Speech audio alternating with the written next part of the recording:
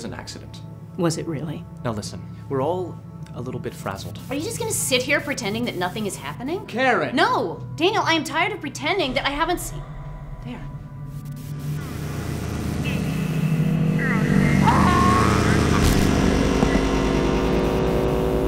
People are dying. Correction, people have died.